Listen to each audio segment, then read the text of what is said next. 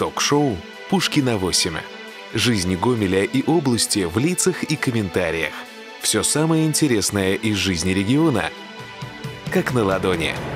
Экономика, культура, социальная сфера и спорт. Только компетентные специалисты и полезные темы.